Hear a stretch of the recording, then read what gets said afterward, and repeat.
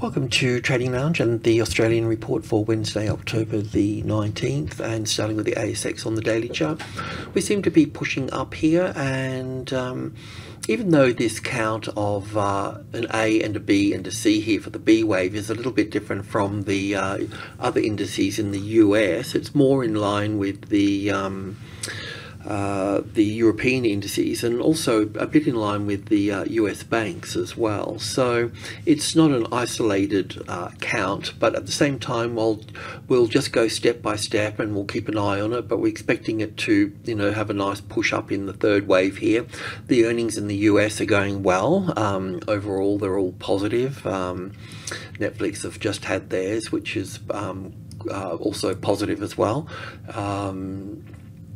So yeah, once the earnings season is finished, then uh, we'll see that turn to the downside at that point. So yeah, we'll just go in this move to the upside. All we can do is go step by step. I've got it as one, two, three, four, five, but uh, we'll just uh, make adjustments on the way. Uh, definitely, basically, in a nutshell, it's. Um, uh, as I've mentioned uh, a while ago, the beginning of this, it's basically uh, long in the banks. Um, and we also mentioned uh, Qantas as well. So those will be there. So this is, you know, from that high to this low here, this is the 50, 60%. So you can expect it to have a bit of uh, you know, vibration here before it settles in and finds that 6,800 as the support.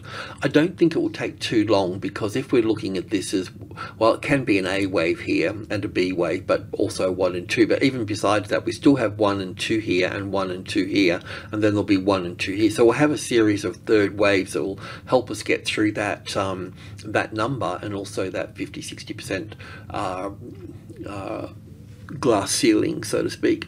So that's sort of where we are. Uh, we can expect this market to continue to push up from this low here. We're looking at one and two and then three, but the three might, it might be okay. Um, or it might be sort of a bit raggedy getting through all of that. Um, but we're, but in a nutshell, we're looking for uh, this wave three here and then we'll need a wave 4 so let's just put that wave 4 in there. And wave 5 of course. And then we'll be looking for uh, wave 3 now this wave 3 this is where we've got to be in this is where we have to be careful because we could have this as an A wave a B wave and then one two three four five here for the C wave at that point. So need to be this our market started this move up before the other markets so um, let's just put this in here so just keep an eye on it and I'll just put this wave C on top here just to scare us a little bit just to remind us that um, we'll see how the other markets around the world are going. Um, not so much the US. I mean, the tech stocks were the ones that. I mean, when I when I think about it, um, I think about the low volatility stocks in the US, um, the European stocks and the Australian stocks. I'm talking about indices here. They've all been, uh, they've all held up much better than the actual tech stocks. Um, even Bitcoin's held up quite nicely as well compared to the Nasdaq. It's kind of detached itself a little bit from from that. Um, if you check them both, compare them over the last three or four months, you'll see what's what I mean by that. Um, anyway, that's the story. So, and the next step along our pathway here is to have that 800 secured as the support. So that in mind, we'll go to the hourly charts. And as I mentioned, it's the banks that are driving this and we've been checking the banks and uh, that's where you need to be long. So um, once we get our new website, we'll be um, there'll be a couple of different things. I've got a I've got a I've got a portfolio module to um, to do just long stocks, not short. Um, but I'm going to uh, um, fix our old CFD accounting program back up. Um, I'm going to get somebody to work on it, and then in January, uh, a team from Academy X have volunteered to um, give us some UI UX um, capabilities with uh, design for for that profit keeper uh, platform for that CFD trading thing, and then we'll uh, find some JavaScript React folks to uh, help rebuild that. So. Um, over the next over the next year, uh, this year we'll be transferring to the new site. Um, uh, so there'll be some portfolios in there, and you'll have your own portfolios in there as well, and a bit of a social module thing. Um, but the trades for the ASX won't really come until later um, after all that, so they'll be sort of next year. But anyway, we're heading into that putting trades back out again. Anyway, that's our, our aim. Um, just want some decent software to do that.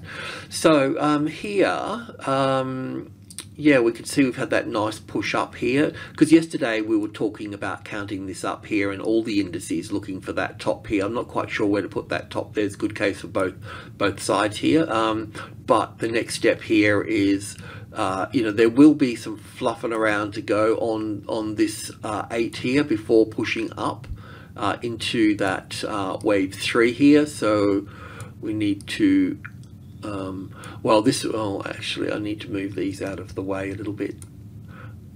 I'm just going to, in fact, I'm just going to put them over. Oh, we're on the hourly chart, so they should stay there. So we'll put that there and that there. We'll put this here and this out the way here. And that's okay there. So this will be, I mean, this is wave one here. This will be two. This will be also wave one in here, and two here, three here. So they'll also, I don't know how far that's going to go there. I'll just, we'll do some work on that. Um, because it might get a bit tricky around these old highs here, th three, four, and five for that third. So basically we're looking for that third wave here, then the fourth wave back here, and then the fifth wave up here to make that sort of nice wave three here. So I don't know exactly the prices, but just trying to pull it into a bit of perspective at that at this stage for that. So that shapes it up a little bit. We're also in group two here. So the 800 also involves the 65 and the seven. or there's lots of other numbers in there that important. But the bottom line here is that it came up here, came back down, you know, it basically found support on that number here, the, the 65 number the lower end of minor group 2 and now it's building a case to the upside so we can look back up it wants to retest supply at higher levels so that's where we're looking at and on the tick chart 100 ticks just to get in there a little bit further we'll look at 5k enough yeah so we've got that from that low here we've got this wave 1 here and 2 here and then yesterday we were talking about up here. I can't remember. It must have been in here somewhere. I've got some lines drawn in here, but um, so and we're looking for it to pull back here. So we'll yeah. So we're looking for the the 800 is always we always call eight a profit taking number. So, but we can see here we talked about one and two and three and four. We were being around here somewhere, and then then we're pushing up from that point. Now, I'll probably have to put wave four back here. I'm wondering what I'm wondering. I'll have to do a bit of work on. What if that's um probably one two three. Well, it's probably over here on that high. It does look like five waves there, doesn't it? It's just that this looks like five waves of one, two, three, four, five here for that. And the, I've got this as the A, the B, and the C here. I, I, you know, I, I, might need to put this as wave one here or wave one here. I'll just leave it like this for the time being, but I, there's still a little bit of an issue I've got to sort out uh, in here for this. Um, so now the market's moving off quite nicely. So um, obviously that's the third wave that we're looking at there. So with the third wave, it can, um, we'll probably see things like this here without counting it too much, be like this. It'd be something like that, but th this the support here, uh, you know, should it, it can come back. It can come back to this is subgroup two here, so it can come back to you know come in deeper and check that. So if that's a little third wave there. We could take that would be one, two, three, four, five. So we look at all of that. So what I could do is just take that low and that high at this point. Oh, 38.2% is not too bad. It's just in there somewhere. So that will play out at the um, at around that level. So it might not come back as far as I think, but just just be mindful. I always look at group two. So if you're looking at stops, then stops need to be uh, under here to get through all of that. I, I mean, that's very wide, but um, that that would be safe at that point.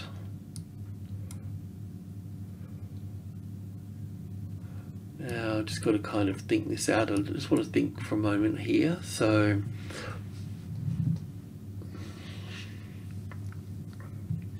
See, the other issue that I've got here, if this is all, this could be one and two and th third wave and fourth wave in here, then we're going to have wave one up here and come back for wave two. That's where that's going to get tested.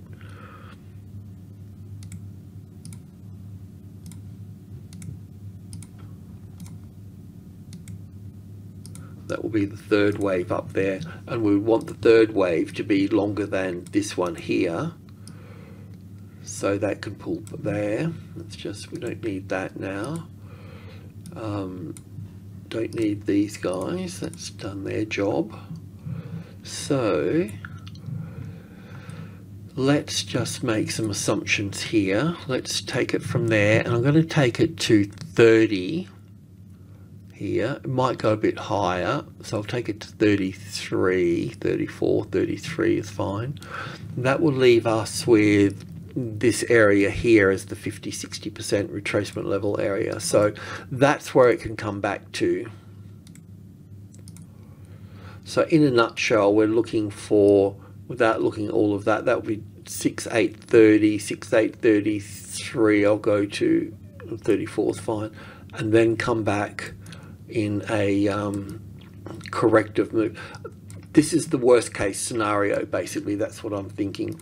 And if that is the case then that's the safe trade. But you could also buy back in this box here as well because of the structure that we've got here. So we could turn that um, box green to, as a buying zone. And you can use your indicators and all the rest of whatever you feel comfortable with. Um, but it'll be something like this. I'm just going to remove these now so the takeaway is that if you want to survive this and if you're long, then you'll need to leave the stop out. You just need to leave the stop out of the way here to get further up that up that way. You know, um, this here um, Wednesday's got a bit of a thing of um, being down in the morning and then up in the afternoon, and then Thursday can open higher and then uh, trade down for the day, and then um, Friday and Monday uh, will be bullish and a bit of profit taking on Tuesday and then the trend resuming again. So the bullish weekly cycle could play out here now that we're sort of in a bullish market. So keep an eye on on that and sort of incorporate that with the uh, with your wave count. Um, I'll double check all of that in here. Um, but uh, yeah yeah, that's wave one here, one, two, three, four, five to that point, right? So we can look at that as, I'll just do that now while we're here for the day traders so they can do that. And this will be, I think there could be one more little top in here for this wave three here, and then there'll be wave four pulling back here, and then wave five up here, up into the six, eight, because when to about the 800 here, 10, 20 and 30 is group one. So that will be, probably won't find support on that. It'll test it, but won't find support, then the ABC back again. So that's what I'm thinking unless this is part of wave one here, but it'll have to be one here, an A and a B and a C for wave two. So it's possible, then that would put an extra thing up here and put a spanner in the works. But um,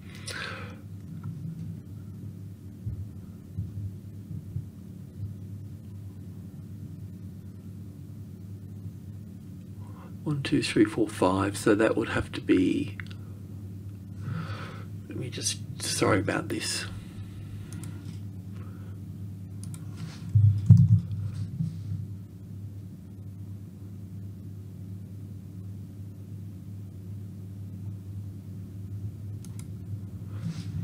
Looks like it, doesn't it?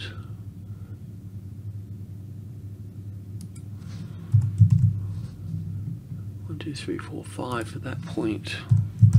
So I'm wondering if that's an ABC here because it definitely looks like it's got five waves here, you know. And then we have the ABC here for that. It's not like we've made a new low here. if you could count that, see if you can get five or three out of that, has made a new high. That would leave another little move to the upside here, but it still wouldn't stop it. It still, still wouldn't stop it coming back down and checking into that group two. you know. It's just how deep that it goes is the question. So, yeah, look, um, just hodl, hodl your way through that, which is... Um, hodl, which, which is just a Bitcoin thing that just means that they spelt uh, um, hold wrong. Um, or the other thing is hang on for dear life. Um, rightio, so that's that. Um, so the bank, so we know CBA is going to have problems at the at the 100. You know, it's going to be like this. It's going to be sort of sticky, but it will go higher. That's the bottom line with it. So it's not one of the not not good to trade around large numbers like this most of the time. Sometimes you get lucky, um, you know, there of you know, thing, but just generally speaking, um, it will it's a sticky number, you know. So we're just going to have a look at the banks as we've been looking at the banks. Uh, first of all, this is Qantas here. So we looked at this with this is a daily chart for Qantas. Let's just get that in the frame and let's just get uh, get a few other things here working.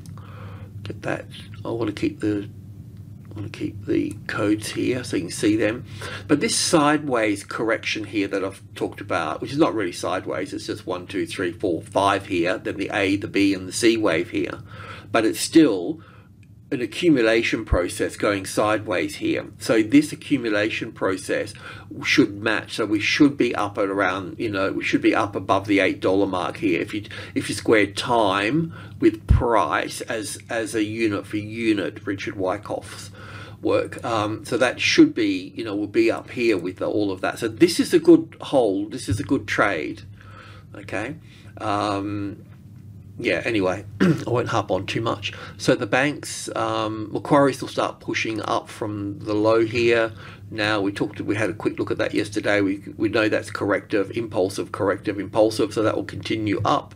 CBA, we know that's sticking around the 100. So nothing to say there. WBC, um, we're looking at these here as, um, as one, two, three, three, four, five to move up there um, then they'll pull back um, and we can go long again the, if you're going long. When these five ways finishes up here, um, and I'm not sure where that, I mean, the next level here for this is, um, if I can just clone this, will be 25. That will be, if I was trading this, then that's the number I would be going for. And we can turn that grey. That's a medium level. Um, any pullback here will sit on the 23. That's the top of minor group 1. Um,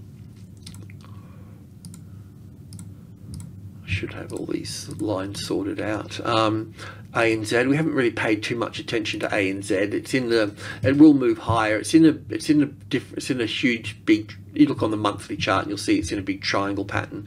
But I wasn't interested in that. We've been interested in, in Ben right from down here and we've looked at this as one, two, and then one, two, three, four, five. So we're kind of at the top of the third there somewhere. There may be another high here, but you can stay there up until $9 at least, above $9. Um, but we look, it looks like we're getting an impulse wave here, but we can't confirm that yet. We've only got an A and a B and a C. Could be three waves up. um, opened higher and traded lower. The NAB was another one here too. Not really struggling to leave here at the moment, but should go should go higher. The BOQ was the one that we were also focused on at the lows down here. So one and two and three and four and five. So they'll push up to eight dollars. So we can look at eight dollars. That's a major trading level.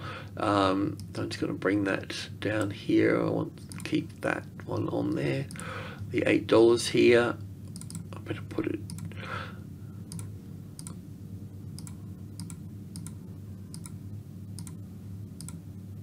okay so that's eight dollars that's going to hit a brick wall there and pull back um, go long again based on that B because this can be an A wave, a B wave, and a C wave and finish up here, you know. But um, it is the banks that have taken things higher. Um, anyway, that's all the banking stuff. Um, so we can move on from that quickly. Um, over to the resources now the iron ore market here. So when I look at this iron ore market here I can see that this move up here is corrective. I can also so far see that this move down here is corrective. So it can be an A and a B wave to here.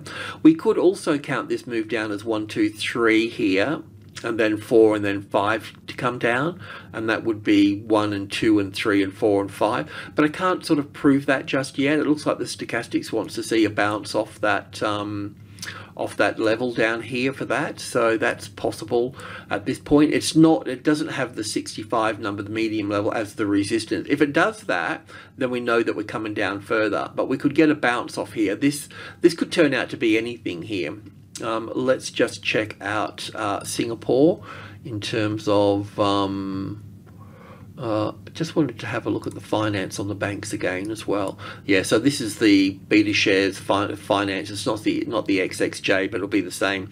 So we can see we've always noted that this has been in three waves here and A, B, C here. So we'll need to take out that top so there's further space to go up there. Um, it's the same as the material sector of the XMJ here as well. We've also got three waves here, so we're looking for five waves moving up. I don't know how far this will go. We might just get um, one, two, three, four, five up here, and then and then collapse. So yeah, I'm a bit unsure about this one, but that's the low, and we've got three waves here. So we'll just see how that. I mean, this could be played out a few different ways, but we should see another push up. It's not all over just yet.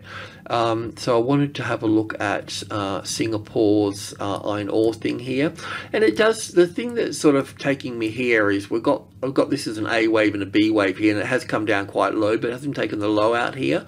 So there's still more space for it to come down here. But in terms of counting it down from B to C here, we can look at it as one and two, and then five waves for one and two, and then one, two, three, four, five for the third wave, fourth wave. Um, you know, I can put five waves here to put this third here and fourth here and then fifth here and this would all so yeah. I mean I wouldn't turn bullish on this unless it jumped above back above the 100 so it's under the 100 it's but you can see that it's sort of every this is strong here isn't it? And then it's all drying up here. It's kind of like um, you know there's no there's no interest in this. The sellers the sellers are not in control. They're not pushing this down any further. So if this becomes the support here then we can look at buying iron ore stocks at that point. We could probably do better than that and get it earlier but this what i just really wanted to say here this is really so this thing here is is diminishing in in um it's diminishing uh, get these things working. It's sort of you know what i mean? It's sort of diminishing to that point and you can see the vibrations. You know the ranges in all of this is getting to the point where it can pop you know?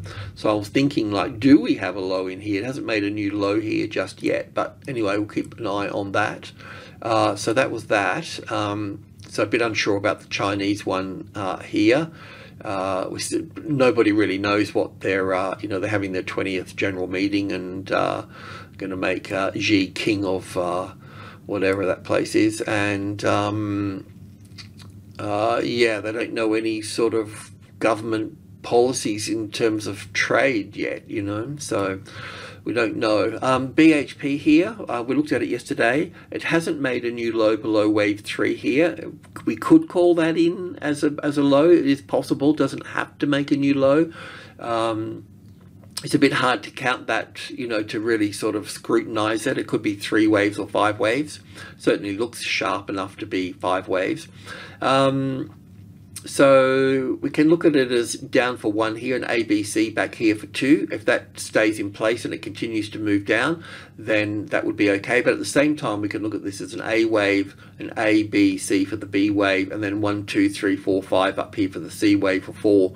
So I could only go long once that C wave came in here, as one, two, three, four, five here, and then we could go long safely above that because anything above that five wave structure would be more bullish and uh, we could go we could go at that point you know? So it and you know and it's better to wait for this to make sure that it's settled on here nicely you know? I mean the markets are in a general move up but we're viewing that as a corrective rally. So anyway we're seeing the banks move up. We the banks will move faster. We can see that the resources need to move up on the xmj um, uh, and basically you know, I mean, they can be lithium stocks and other green metals for that as well.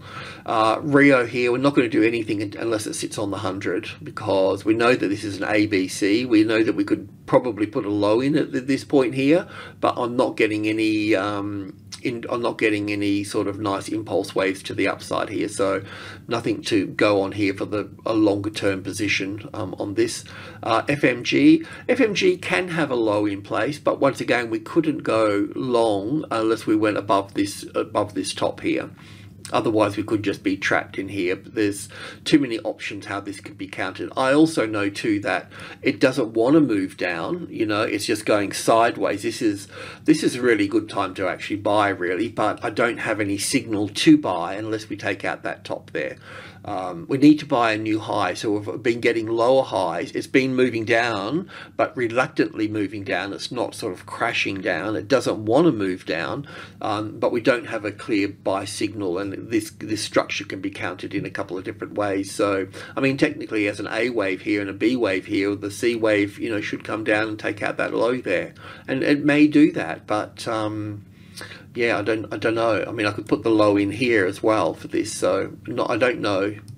Okay, so over to the lithium stock. So this is the um, uh, ETF here. So obviously it's got a bundle of um, uh, lithium stocks in there.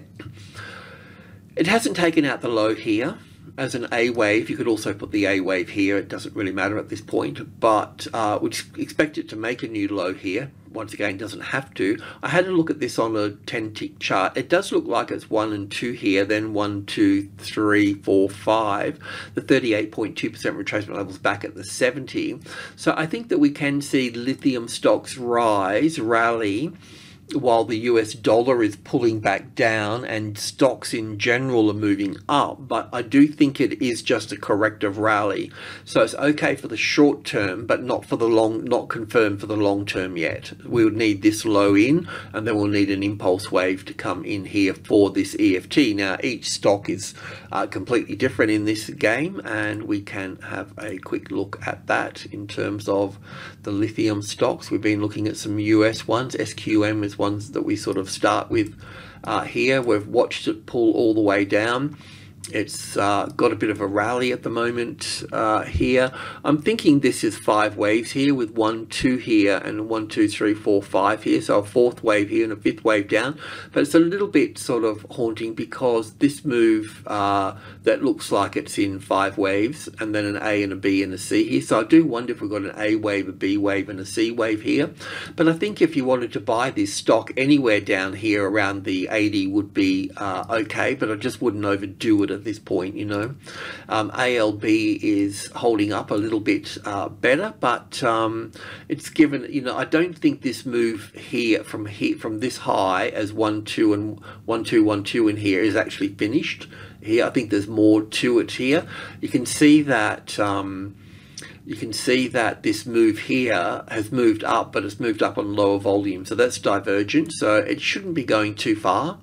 Uh, ACDC, one of uh, one of our boys here, our boys. Uh, uh, so yeah, I was thinking that we got one, two, three, four, five here, then the A wave, the B wave, and the C wave up here for this, and then come down for the C wave. Look, I could be wrong. It's hard to look at some of these sometimes, but it does look like five waves down here, then the ABC back. So I expect it to go higher, but it can give us another leg to the downside uh, before going higher at that point. Um, we do have five waves off the low, so it, it's looking sort of okay at, the, at, at, that point. But um, yeah, I just don't think it's solid enough setup just yet. Um, but by all means, do what you need to do. Uh, we talked about this one uh, yesterday here as well. It's possible to have the ABC in down here for this wave 2 here. Um, yeah, uh, if it was going to continue to move up, which it is moving up on stronger volume, which is a good thing, obviously. We've got increasing volume to the upside. The range was a bit short on that amount of volume, so that's a bit of a signal. Um, but the uh, side to the upside here would be, so it can come to here and fail at that point. So the other point here, what we could do, um, because I don't have a consensus on lithium stocks as such, um, if this turns into five waves, it will be wave one and two here, won't it? So it will be one and two here, and then it'll be three, four, and five, and then it'll have an A and a B and a C and come back, and then it'll go. If it was going to be bullish, we'll get it back over here based on five waves moving up here. Um, but as I mentioned before, I think it's sort of okay to buy at the dollar, but we'll just see how that um, that plays out. Now, uh, Liontown was also our um, sort of template in that looking at this as as one and two, well, basically five waves down here with an A and a B and a C. I can see that it's increased. I mean, it had increased volume here. Um, but the range was really small. I mean, it did gap, so I've got to give it that as well. But there would be selling going on in that volume there as well. So I still wonder if this is an A and a B and a C wave here. It looks like a third wave rather than a C wave because of the power of it. But at the same time, it will be wave one and two and three and four and five here. So I'll just see how it goes. The other point to this is that we'd be looking for a C wave to the downside. If it was going to move up here, then um, let me just go back here. Well, it would be one, two, three, four, five here. I suppose it sort of pulled back a little bit close to our target area. Maybe we should have bought that under there and also gone long here, or maybe I mentioned it. Um, but the next step here, if if uh, if this is going to push up, it's going to be one, two, three, four and five up here and then come back for the ABC so then we can also look to get it over here. Based on those five waves we can buy the pullback but we don't have five waves yet and this can pull back into this space here. So we do need to be a little bit careful about that.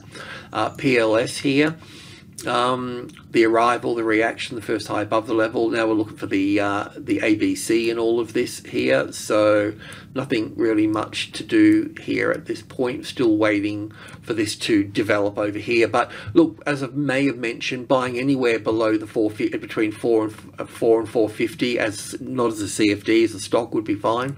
Uh, AKE here. Um, once again, we're looking down as one, two, three, four, five here, then the ABC pattern here, and then coming down. So yeah, it looks sort of everything sort of looks okay. Would it run away on us? I mean, all I can say is that we've got one, two, three, four, five. It's pretty clean here, so that means we should have a correction and then down again. Um, and this would be the buying area here for this. Um, IGO was sort of doing its own thing here. Um, I'd have to say that's five waves in this. We'll have to look at this as one and two in here and three, four, five. Any move above the top here would um, would be taking this higher. I mean, it's trend. It's one of the strongest stocks in in the market. So obviously, it's um, you know you'd want to just hold that. It's a, it's a holding stock, isn't it? You know, um, and uh, Min is also fantastic as well. It's not pulling back. This move here is in three waves, so it's corrective. So that means that, um, and that's five waves here now. So you could also go long above the top here pretty safely and get up to 80 um, here for this. So yeah, I just see IGO and Min will just continue. Um, Q, QXR was this other one that we're just keeping a bit of an eye on. So when we started watching this was just up into here, but we could see, you know, as I mentioned, um, got overlapping wave structures, so it's going to be pull, pulling back. We'll just let it go for a little while um, because it's a bit of a news-related uh, move, all of this, with this new director from Lake coming into this, um, into this, but... Uh, Yes, obviously very volatile. But one of the things I do like is this base here.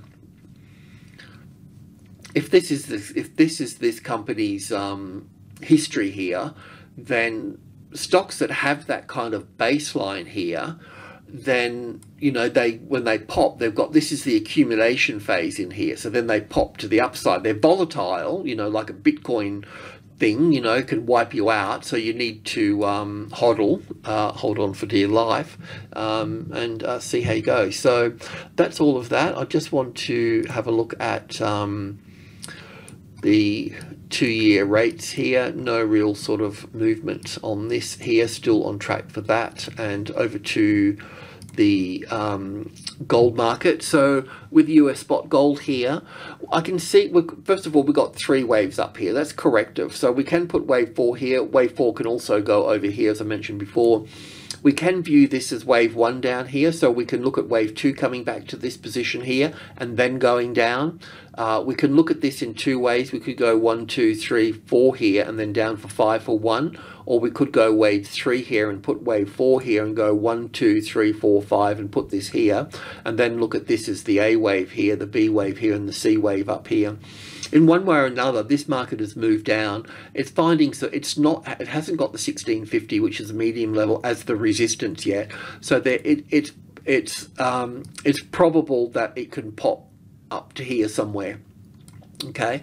Um, and that would also leave uh, Newcrest mining. Newcrest mining doesn't have to move on the basis of gold. It can move on the basis of the stock market as well just what general stocks are doing. And we've been looking at this in two ways down here. We're looking at it as an A wave a B wave and a C wave up here for wave 4 and then coming down. Or we could look at it over here as the A wave the B wave and the C wave for wave 4 this here is looking a bit um, uh, corrective so it looks, we'll see how that goes. if it takes that top out there, then we can eliminate that wave three and use that wave three, and then look at this as the ABC. So if that if it takes that top out there, the length of this here will be the length of this. It can go back up to uh, 20 here to the wave four of one lesser degree the US dollar here. Um, yesterday when we talked, we were talking about the A wave, the B wave, and the C wave down here for a wave four, and um, we're looking down at wave one and two, and then one, two, three, four, five for one here. So we can put that wave uh, one here. We'll look for an ABC pattern here.